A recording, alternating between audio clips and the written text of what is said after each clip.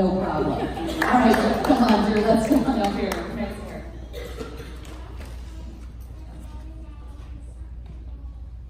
My faith in God is important to me, but it should also be important and helpful to others around me.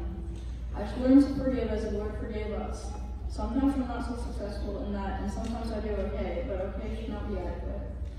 I should do my best at any time, anywhere, and to everyone. No matter what they've done, I should remember to the same lows or done the same wrongs, but there was someone there to forgive me.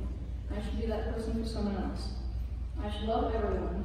Sure, I love my family, but I should love everyone else I come into contact with throughout the day, and especially God. My being loving to someone else can start a chain reaction, and that person goes on to love someone else, and so on. This is part of God working through me to brighten someone's day, and I should be thankful that I was given the opportunity. Also, I was created for a purpose, God's purpose. I need to remember that myself because I have a calling on this earth, and that is what God expects from me.